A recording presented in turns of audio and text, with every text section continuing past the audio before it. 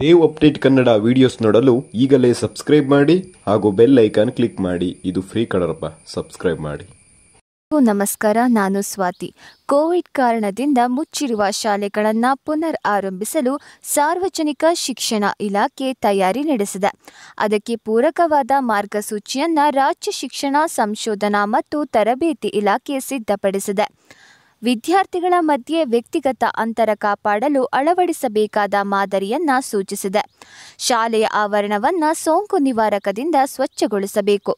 ವಿದ್ಯಾರ್ಥಿಗಳ ಸಂಖ್ಯೆ ಕಡಿಮೆ ಇದ್ದರೆ ಕನಿಷ್ಠ ಅಂತರವನ್ನು ಕಾಪಾಡಿಕೊಂಡು ಇಡೀ ದಿನ ತರಗತಿ ನಡೆಸಬಹುದು.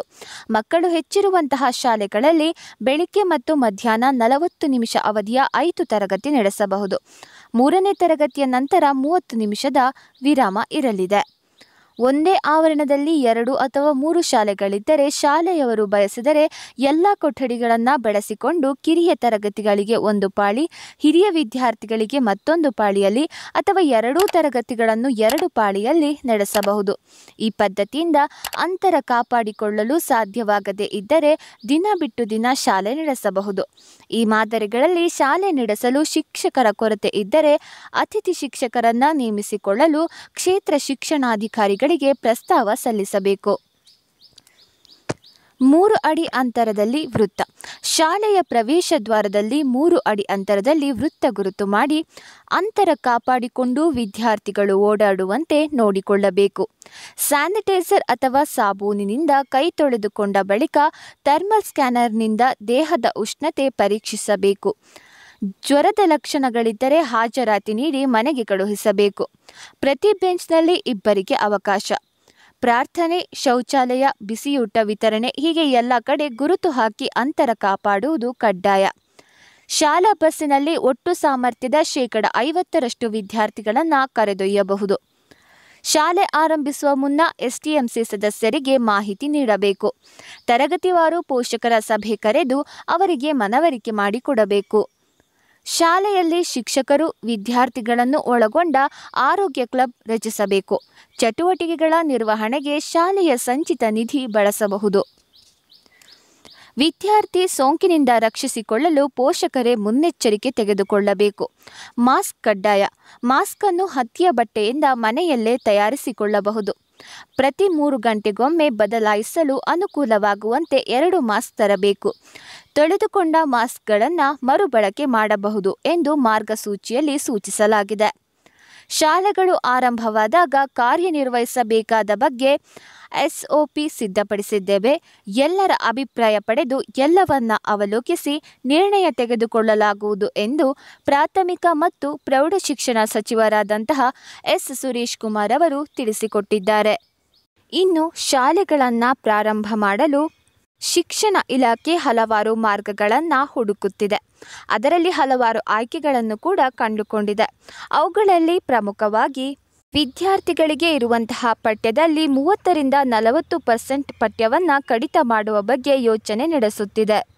ಬೋಧನೆಯ ಸಮಯದಲ್ಲಿ ಅಷ್ಟು ಪಾಠಗಳನ್ನು ಮಾಡಲಾಗುತ್ತದೆ. ಆದರೆ ಪರೀಕ್ಷೆಯ ಸಂದರ್ಭಕ್ಕೆ ಮಾತ್ರ ಅಗತ್ಯವಿರುವಂತಹ ಪಠ್ಯಕ್ರಮವನ್ನು ಮಾತ್ರ ನೀಡಲಾಗುತ್ತದೆ ಅಂತೆ ನಂತರದಲ್ಲಿ ಶೈಕ್ಷಣಿಕ ವರ್ಷದಲ್ಲಿನ ದಿನಗಳನ್ನು ಅಥವಾ ಅವಧಿಯನ್ನು ಈ ಬಾರಿ ಕಡಿಮೆ ಮಾಡ್ತಾರಂತೆ.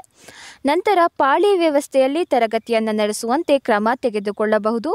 ಹಾಗೆಯೇ ಕೆಲವೊಂದು ರಜೆಗಳನ್ನು ಕಡಿತ ಮಾಡಿ ಶನಿವಾರದಂದು ಪೂರ್ಣ ಪ್ರಮಾಣದ ತರಗತಿಯನ್ನು ನಡೆಸುವಂತಹ ಸಾಧ್ಯತೆ ಹೆಚ್ಚಾಗಿದೆ.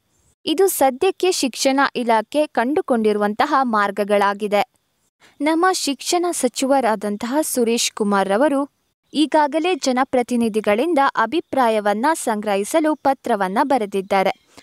ಆ ಪತ್ರಕ್ಕೆ ಅನುಗುಣವಾಗಿ ಜನಪ್ರತಿನಿಧಿಗಳಿಂದ ಯಾವ ರೀತಿಯಾದಂತಹ ಸಲಹೆಗಳು ಬರುತ್ತವೆ ಎಂದು ನೋಡಿಕೊಂಡು ಜೊತೆಗೆ ಇದೇ ತಿಂಗಳು ಕೊನೆಯಲ್ಲಿ ಬರುವಂತಹ ಕೇಂದ್ರ ಸರ್ಕಾರದ ಅನ್ಲಾಕ್ ಫೈನ ಮಾರ್ಗಸೂಚಿಯನ್ನ ತೆಗೆದುಕೊಂಡು, ಅಂದರೆ ಆ ಮಾರ್ಗಸೂಚಿಯಲ್ಲಿ ಶಾಲಾ ಕಾಲೇಜು ಪುನರ್ ಆರಂಭದ ಬಗ್ಗೆ ಯಾವ ರೀತಿಯಾಗಿ ನಿರ್ಧಾರವನ್ನು ಕೈಗೊಳ್ಳಬೇಕು ಅಂತ ಸೂಚಿಸ್ತಾರೋ ಅದರ ಮೇರೆಗೆ ಕರ್ನಾಟಕದಲ್ಲಿ ಯಾವ ರೀತಿಯಾಗಿ ಶಾಲಾ ಕಾಲೇಜುಗಳನ್ನು ಪುನರ್ ಆರಂಭ ಮಾಡಬಹುದು ಎಂಬುದನ್ನು ಹೇಳ್ತಾರೆ.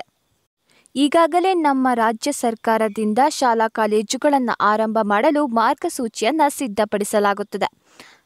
ಇನ್ನು ಕೇಂದ್ರ ಸರ್ಕಾರದ ಮಾರ್ಗಸೂಚಿ ಬಂದರೆ ಶಾಲಾ ಕಾಲೇಜುಗಳ ಪುನರ್ ಆರಂಭ ಮಾಡುವಂತಹ ದಿನಾಂಕವನ್ನು ನಿಗದಿಗೊಳಿಸುವ ನಿರ್ಧಾರ ಒಂದೇ ಬಾಕಿ ಉಳಿದಿರುವುದು ಅದನ್ನು ತಕ್ಷಣವೇ ತೆಗೆದುಕೊಳ್ಳುತ್ತಾರೆ.